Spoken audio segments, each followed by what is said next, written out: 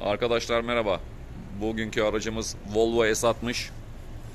8.8 inç Android multimedya yaptık.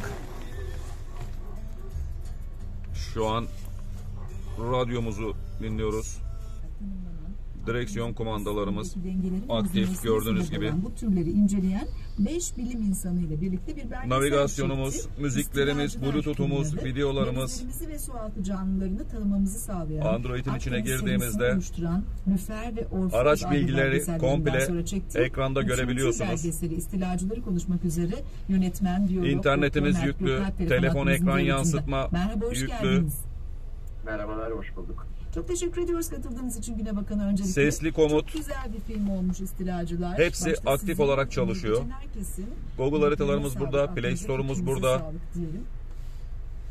Çok teşekkürler. CarPlay'imiz Evet, mevcut. Nasıl gelişti süreç? Ee, Bir üçüncü film dedik biz.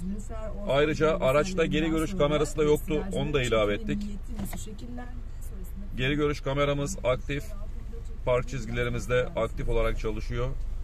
Kamera 1080p yüksek çözünürlüklü bir kameradır. Zaten netliğinden anlayabiliyorsunuz.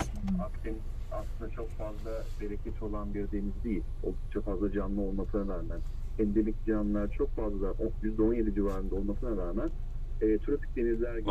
joystick kumandayı gördüğünüz gibi istediğimiz gibi kullanabiliyoruz ve cihaz çok hızlı. İlk kullanılan denizlerden bir tanesi. Hatta medeniyetin, e, insanın denizle yolculuğun ilk başladığı yerlerden bir tanesi. Hmm. O yüzden çok önemli. Evet. Gördüğünüz gibi burada E, 200-250 milyon iDrive kumandası var. Akdeniz çevresinde. Çok hızlı E, çalışıyor Birçok cihaz. şehir var. Ve ciddi bir atık problemi var. Hmm. Ciddi bir